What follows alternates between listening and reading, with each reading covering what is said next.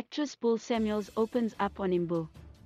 No doubt Buhle Samuels has been trending for the better half of the day after it was reported that the bubbly actress was shown the exit from Imbewu, the seed because of her behavior on set.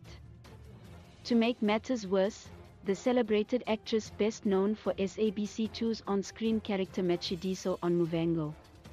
However, after her controversial exit from Muvhango made all sorts of headlines. It was established that she was fired from Muvhango because of her diva tendency and is always late on set. However, in the mix of these daring allegations, the actress revealed that she parted way with Muvhango showrunners in good practice as she was chasing her musical career. In the backdrop of her exit, things went south as she couldn't fit into the booming music industry. Well, her unmatched talent and flair saw her being cast as Zendaya Marjola on Ev's drama series Imbewu, The Seed. Well, she was slated to wow us on the small screen this December, but it seems as if things went south. Imbewu, The Seed pulled a shocker when it introduced that Buhle Samuels would not be part of the drama series. Hence, former Scandal actress Angela Sithole were recast as Zendaya Majola.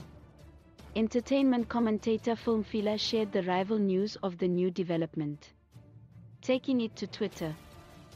Phil Mphela shared a Twitter thread revealing that Samuels was fired and was being replaced. Phil went on to suggest that her exit came in the backdrop of a fallout with showrunners. However, the tweet set social media ablaze as Mzansi weighed into the matter with its two cents. Word of the street implied that she was shown the exit door because of her behavior and attitude on set. However, in the wake of the drama that has seen her trending for the wrong reasons, Buhle Samuels finally responded to the allegations. The bubbly responded to Phil by first taking a swipe on him to verify his facts before posting. Buhle Samuels cleared the air and made it clear that she was not fired but turned down the offer. She declined the offer because she couldn't play a gold digger character again. Hence, she needed a new character that was challenging. She claims that despite communicating with the showrunners, the actress has it that the showrunners went on to script her as a gold digger which left her with no option but to dump the drama series in the 11th hour. Leave your comments in the comment video below, don't forget to share with your family and friends.